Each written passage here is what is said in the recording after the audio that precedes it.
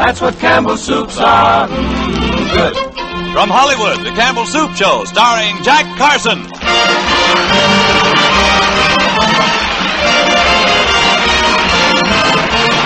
Yes, listen to Jack Carson, Freddy Martin and his orchestra, Arthur Treacher, Jack's nephew Tugwell, played by Dave Willock, little eight-year-old Norma Jean Nilsson, Irene Ryan, and yours truly, Del Sharbutt. Youngsters' meals are a special problem this last week before Christmas. Boys and girls are likely to be overexcited and eat in a hurry. So mother must be extra sure that the food she serves is easy for young tummies to digest. And that's the time for big bowls of Campbell's vegetable soup. Children love it. They like the hearty flavor of the rich beef broth, thick with nutritious garden vegetables. Mmm, good. And mothers know that here is just the kind of dish that active youngsters need these busy days. So why not make Campbell's vegetable soup your main lunch dish, maybe tomorrow? Well, the Yuletide spirit has really come to 22 North Hollywood Lane. And here, browsing over his Christmas list, we find Jack Carson.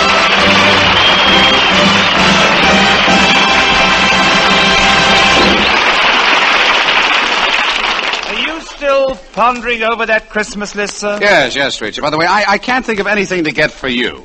Uh, did you like what I gave you last year? Like it? Well, uh, I don't know, sir. I haven't figured out yet what it is. What it is, Treacher, my Aunt Mabel knitted that for you with her own hands. It must be a sweater. Well, that's what I thought, sir. But after I got it on, I discovered it had feet in it. Oh, well, then it must be a suit of long underwear. Underwear? hmm Well, they're the first ones I've ever seen with a turtleneck trap. Well, when, when Aunt Mabel knits something, she gets carried away. I remember once she made me a house coat. It was a little too big for me, but if I'd have knocked off one chimney, it would have looked great on the house. How about Master Tugwell, sir? Have you decided? Uh, you decided what to give him? well, you know, I, I'm buying him that bicycle from the mail order house on the installment plan. They send him one part at a time. Yes, sir. I remember last year you gave him one half of a handlebar. well, I gave him a half a handlebar on purpose. You see, that way he can steer with one hand and hold the bicycle together with the other.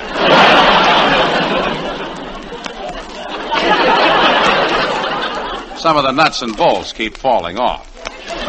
But it was a good idea because I want Tugwell to learn about mechanics. Any growing boy should know. Uh, oh, hello, Tugwell. We were just talking about you. You know, Santa Claus will soon be here. Yeah, yeah, I know. Have you got anything in mind you'd like him to bring you? Oh, sure, millions of things. I want a football, and a magic set, and a Uh, 22 rifle, and a tennis racket, and Uh, a wristwatch, and a key uh, ring. just- just a And- minute, oh, and Uncle Jack, I also want a midget auto racer. Yeah. Oh, boy, a midget racer. Look out. Here I come down the track. Oh, Tug, wait a Tug, wait, wait a minute. Don't get carried away. Oh, Uncle Jack, how'd you like my imitation? Swell imitation for Christmas. I'll get you a fox tail. You can hang it on your nose. By the way, Tugwell, just uh, just what is still missing from your bicycle? Oh, one half of the handlebars in the seat. Oh, isn't there a seat? No. Well, when you ride, what have you been sitting on? What I always sit Oh, on. no. That isn't what I mean. I mean, what is in the place where the seat should be? Uh, pieces of my skin.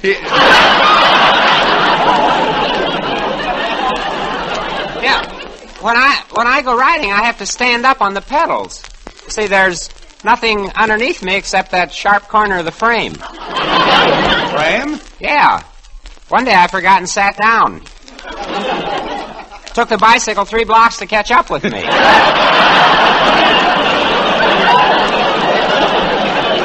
Well, after Christmas, Tugwell, you won't have to worry about that anymore. Now, let's see. I still have little Norma Jean next door to remember. Oh, didn't you intend to give her some sort of toy, sir? Yeah, well, I looked at a few last week, and they've got some miraculous mechanical dolls this year.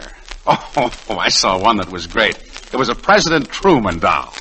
Uh, Truman doll, sir? Can you tell it's him? Oh, yes, indeed. He's wearing a felt hat, glasses, and a small piano. So realistic. You wind it up and he plays two choruses of Waltz Me Around Again, Lewis.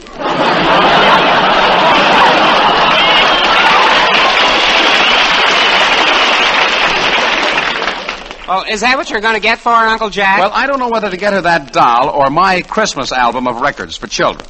How much was the Truman doll, sir? Oh, uh, twelve dollars. How much was your album? Two dollars and a half. Truman wasn't in very long, was he? That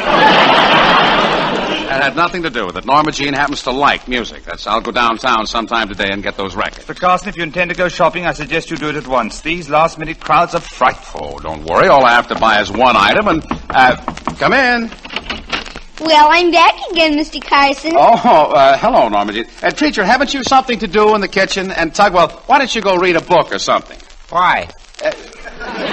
Well, it's Christmas time, and who knows, maybe Norma Jean and I have a little secret. Mr. Carson, I'm getting kind of tired of that game you taught me this morning. Uh, Uh, what game is uh, that? Tugwell, just run along. This doesn't concern you. Mr. Carson taught me a game called Post Office. Uh, Norma Jean, I... Post office. yes, Mr. Carson invented it. He puts the addresses on his Christmas cards, and I deliver them in person. You see, it, it keeps her from getting into mischief. My mother says it keeps you from buying stamps, too. Norma Jean, I intended to give you a penny for each one you deliver. See, at three cents a stamp, that's a Yes, saving never mind, never mind what's saving. I delivered 12 cards already, but I brought two cards back on account of the addresses. What was wrong with the addresses? Nothing, but I couldn't find Seattle. That that card must have got in there by mistake. I only wanted you to, deli- to deliver the cards around the neighborhood. Oh, I had fun doing it. And you know what, Mr. Carson? I saw two Santa Clauses. You did? Yes, they were out in front of the department store ringing their bells. Mr. Carson, how is it possible that there could be two Santa Clauses together? How? Oh, well, that's uh, that's on account of the uh, uh, the union. See, the Santa Claus in front is with the AFL, and the other one is picketing him. but don't you worry about it, honey. They're just a couple of Santa Claus's helpers. I'm going downtown today to see the real Santa Claus. You are? Mm-hmm. And I'll try to get him to bring you something nice for Christmas. Oh, boy. Have you got some more Christmas cards to deliver? Uh, no, no, honey, but here's the money I owe you so far. Gee, thanks. Goodbye now. So long, honey.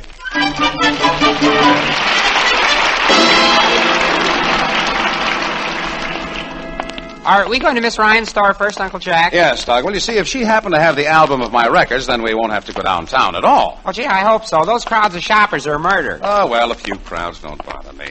You know, Christmas is really a wonderful thing. Jingle bells, jingle bells, jingle all the way. Uh, well, there's Miss Ryan's store. I hope she's got that album in stock. Jingle bells, jingle bells, jingle all the way. Oh, hello, Miss Ryan. Oh, hello there, Mr. Carson. And you've got Tugwell with you, too. hmm Well, it's, it's getting near Christmas, Miss Ryan. There's a real snap in the air. Doesn't it make you feel great? Oh, I guess I'm about as well as could be expected.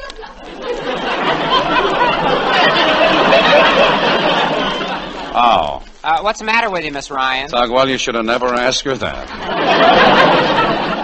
Well, it seems that my life is just suffer, suffer, suffer. I've still got all of my old pains, but today I woke up with a new one. I knew it. Well, I, I was going around the corner to the bank, but first I thought I'd stop in and see if you had one of those albums of records I made for children. I've never had a pain quite like this new one. Dormant pain. Uh, dormant pain? You mean it doesn't shoot or jab or travel? No, it just lays there. All my other pains have to go around it. Ah, that's too bad. Well, I was going around the corner to the bank. Of course, those old pains still bother me too. Yes, well, I was going around the corner. I'm full of aches. Dull aches, sharp aches, throbbing aches. Well, I was going around the corner. And another thing. If I could only get around that corner, I'd be all right. Look, I'm, I'm not trying to change the subject, Miss Ryan, but have you got that album I made? Even though I do feel bad all the time, I try to be cheerful. I woke up this morning and I said, I'm thankful I'm still living. Are you still? I mean, are you thankful? But what we really dropped uh, in for, Miss Ryan, was do you have any of those albums I made for children? Oh, you mean Willie and Hannibal and Mouseland? Uh huh. Say, those records were awfully cute. I played them a lot. Well, thank you. Do you happen to have one left? Oh, I'm sorry. I sold the last one yesterday. Oh, maybe you can get one down at a department store, Uncle Jack. We better get started, too. These crowds are awful big. Yeah, I've got to stop at the bank first. Goodbye, Miss Ryan. Goodbye. I'll just stop at the bank for a minute, and then we'll go on to the, the department store. Oh, what fun it is to ride in a one-horse open sleigh. Jingle bells, jingle bells. Hey, jingle Uncle Jack, bells. doesn't that Santa Claus stand over there in the corner look familiar? Yes, he does. Oh, gosh, no wonder he looks familiar. It's Del Sharbutt. Come on, let's go talk to him. Hello, Del. Oh, hello, Jack. Hello, Tugwell. What's the idea of you being dressed up in that Santa Claus suit? Oh, I'm just doing a friend of mine a favor. You see, he's the regular Santa Claus here, and I told him I'd stay here until he got a bite to eat. I see. Well, anybody can tell you're not very experienced, Del. You've got to be more jolly. Here, give me that bell and I'll show you. Merry Christmas, everybody! Ho, ho, ho, ho! Merry Christmas! Well, yes, I'll have to admit, Jack, that I don't know much about it, but you know, I do get a kick out of talking to people. Oh, you ought to see the kiddies' eyes light up when they ask Santa what I'm going to bring them for Christmas. And I tell them, a steaming bowl of Campbell's vegetable soup. Kids are so lucky nowadays.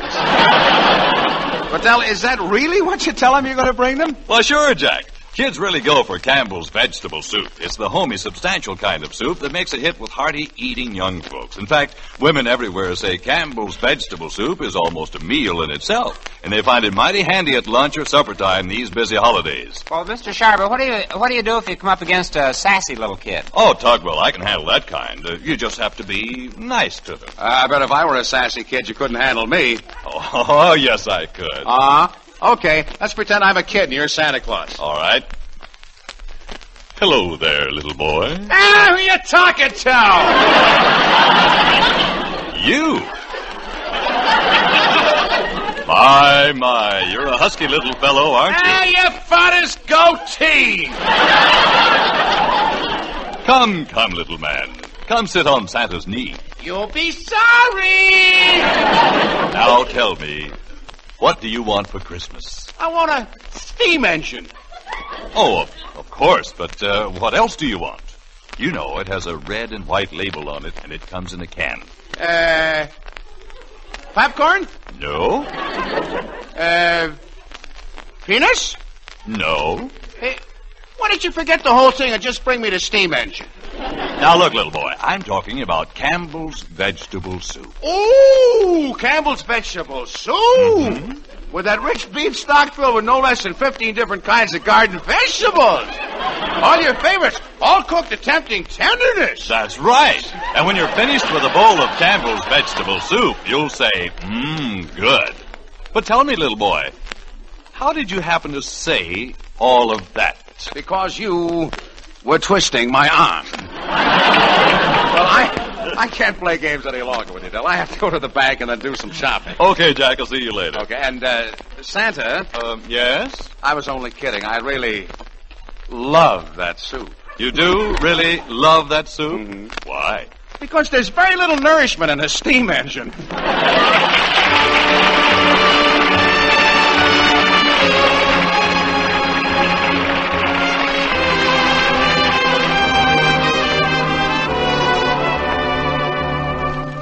Now, from Jack's picture, the time, the place, and the girl, Freddy Martin brings you Oh, But I Do, sung by Clyde Rogers.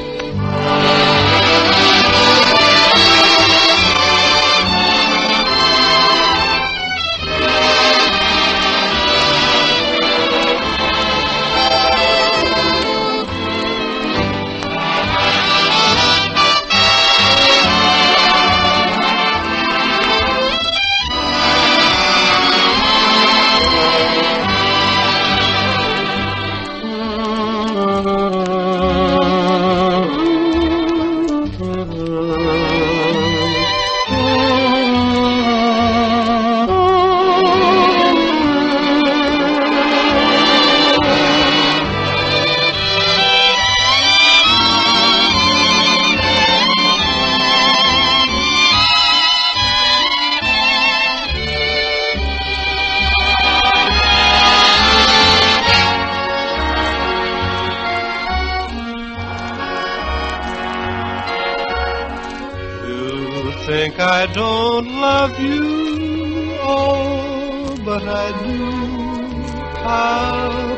I show that I do?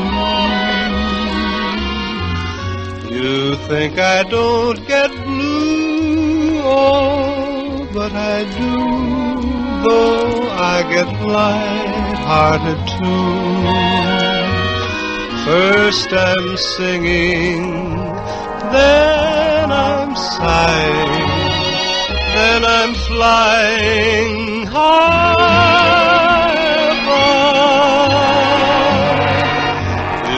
think I don't know why?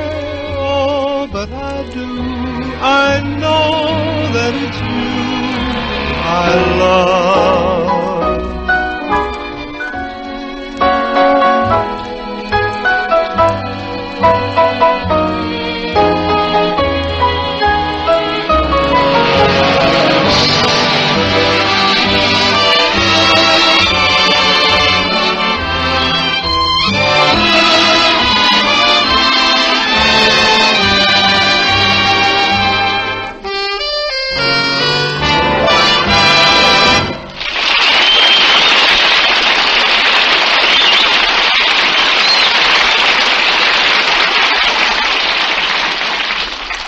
Jack, how much longer are we going to be here in this bank? Oh, not much longer, Tugwell. There are only two people ahead of me in this line. There you are, Mr. Clark. It came through from the Bank of England this morning. A letter of credit for $250,000. Thank you.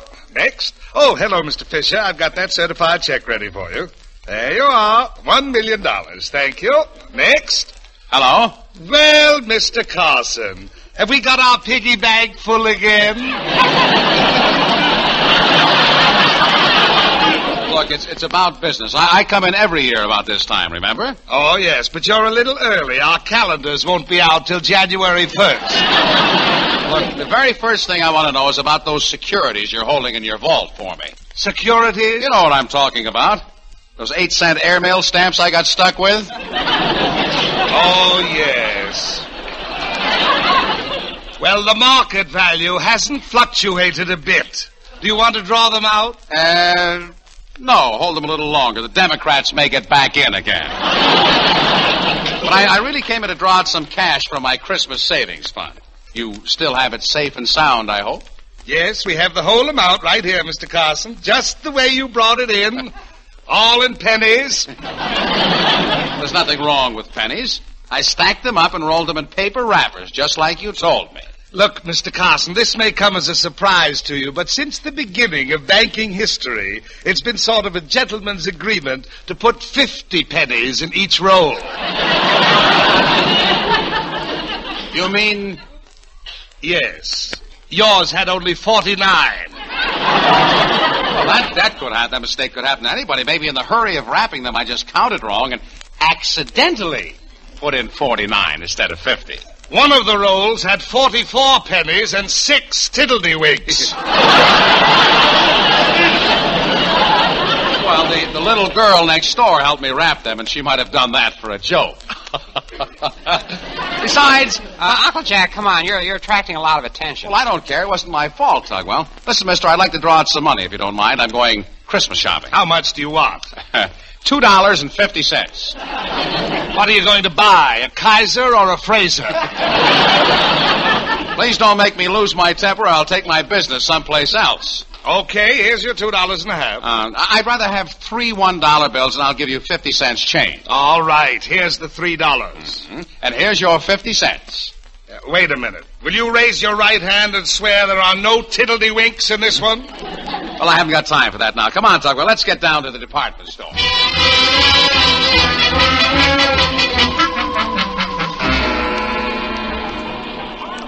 Jingle bells, jingle bells, da dee da dee dee. Uncle Jack, how can you keep singing like that? Gee, we've been standing in this line for two hours. We're not even in the store yet. Tugwell, you've got to expect these inconveniences when you go shopping at Christmas time. The main thing to remember is whenever you begin to lose your temper, just sing uh, Jingle Bells. Here, da, da, jingle bells. Well, we'll, jingle we'll never get in the store unless we get through this crowd of people. Uh, uh, well, come on, I'll show you how it's done. Folks will let you pass through if you just remember to be polite. Now stay close to me. Pardon me? Pardon me? Pardon me?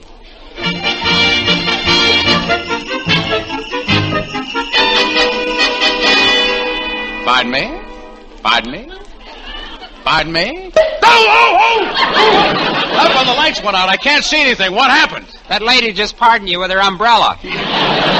Which lady? Why? Uh, Uncle Jack, Uncle Jack, remember, remember, jingle bells. Huh? Jingle. Oh, oh yes. Ya-ta-ta, Jingle bells, jingle all the way. Well, we're inside the store anyway. Now all we have to do is find the music department and get those records. Now hang on to me, Tugwell, and I- I'll ask this young lady at this counter. Uh, excuse me, miss. Can you tell me where the music department is? Music department. Who's got time to listen to music in this madhouse? Well, I only thought that This is ladies' lingerie, Bob. Are you interested? ladies' lingerie. Yeah. Or no, no, no, thank you. I've got scanties, panties, snuggies, huggies, step-ins, step-outs, and the sure grip non-skid girdle. No, thanks. I, I don't want a girdle. They're very cozy, and if you do the rumba in this girdle, it's impossible for South America to take it away. Well, thank you very much. Come on, Tugwell. Let's get away from this counter. Oh, Uncle Jack, what are all those peculiar pink things?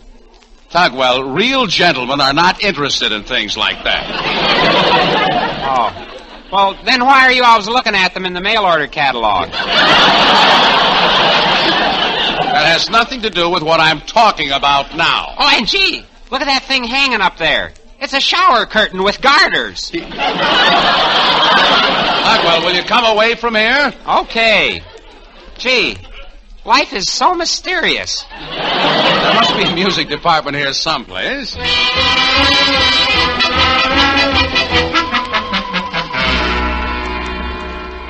Gee, I've never stood in so many lines in all my life, Uncle Jack. We've been standing this one for 45 minutes. I know, Tugwell, but standing in line is the only way you can get up to the music counter. It won't be much longer.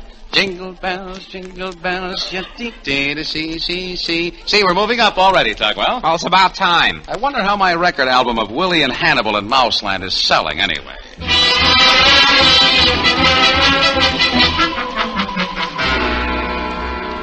Well, it was a long wait, but here we are at last, at the end of the line. Look, Uncle Jack, this isn't the line that goes to the music counter. No. Well, while we're here, we may as well wash our hands.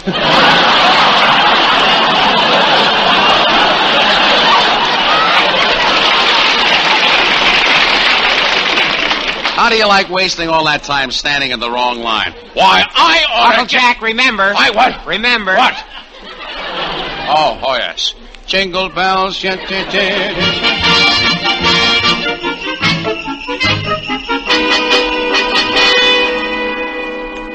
I'm glad we got that straightened out. I'm, I'm sure this is the right counter. Yeah, and here comes the clerk now. Yeah. Oh, uh, pardon me, mister. I, I'd like to buy some phonograph records. Uh, fine. I'm in charge of the classical records. What did you have in mind? Something by Sibelius? Well, I. Uh, perhaps something a little heavier. Say Brahms' Second Concerto in E minor. well, I. Or maybe The Meistersinger by Richard Wagner. No, no, the album I want is not quite so classical. It's called Willie and Hannibal in Mouseland.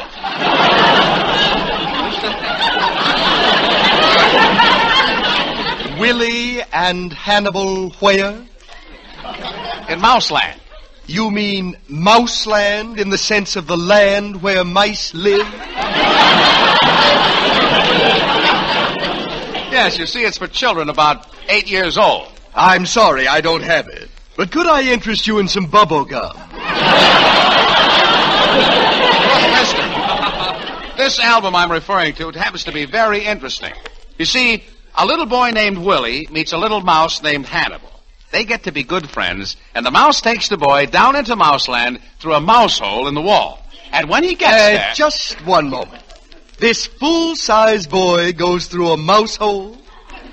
yes, yes, it's quite easy. And when the other mice see Willie standing there, they all come running. Ibbity bibbity sibbity sab. Uh, how?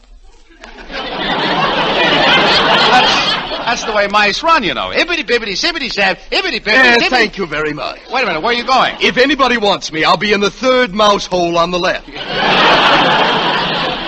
Hey, I think we better get out of here, Uncle Jack. There's a crowd gathering. Oh, gathering. no, no, Tugwell. I want to explain this. You see, mister, right there comes a song. what makes people get so scared of mice. You see? And the mice like the song so much, they all sing it too.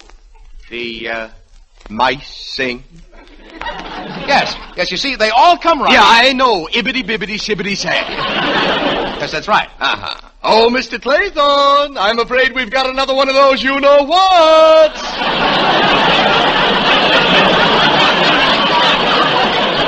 What's that? What are you doing? Oh, nothing, nothing. Go ahead with your little story. I'm very interested. You know, I've never heard a mouse sing. Oh, sure, they have all different kinds of voices. The little teeny mice sing with little teeny voices. They sing way up high like that. And the big fat ones have low voices and they sing bass. Fiddly dum squeak squeak. Fiddly dum squeak squeak. Fiddly dum squeak Okay, squeak. Hey, buddy, come quiet. Wait a minute, wait a minute. Who's got hold of my arm? It's two men in white coats, Uncle Jack. Well, let go of me. I didn't do anything. Take it easy, buddy. We know it's just a strain of Christmas shopping. Yeah, this is the fourth guy what blew his top today. I did not blow my top. I was only telling this man here a story. It's about a little boy who goes down to Mouseland through a mouse hole. Through a mouse hole. I think we'll need a straitjacket for this one, Joe. Let go of me. Let go, I said. Come on, buddy. Where you're going, you'll have all the little mice you want. Yeah. And guess what? Tonight we'll even let you meet Humpty Dumpty. You can't do it. Quit dragging me. That man behind the counter can straighten this out. You know I'm not crazy, don't you? Well, say something. Ibbity bibbity sibbity say. Come along, Wait, wait, wait a minute. This is an outrage. Tugwell, don't just stand there. For heaven's sakes, do something. Jingle bells, jingle bells.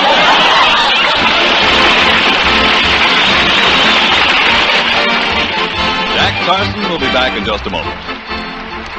Twas the week before Christmas, and all through the house, there are a million and one things Mother must be doing. So why not build supper a couple of times round bowls of good hot soup?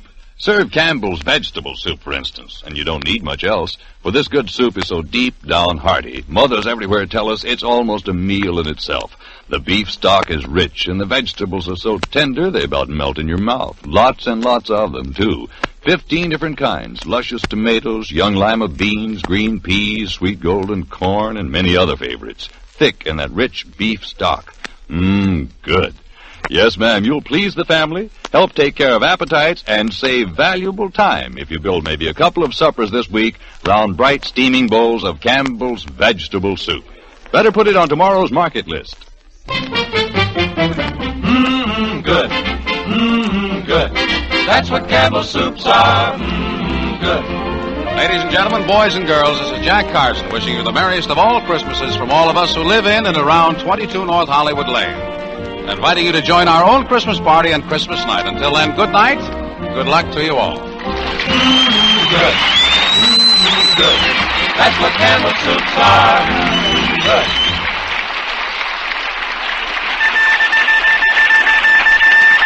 Tune in Robert Trout the news till now. Every day, Monday through Friday, hear the program with the most complete news coverage in all radio.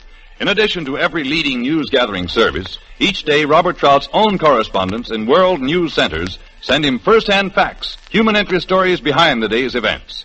For complete, accurate, unbiased news, tune in CBS 6:45 p.m. Eastern Standard Time for Robert Trout with the news till now.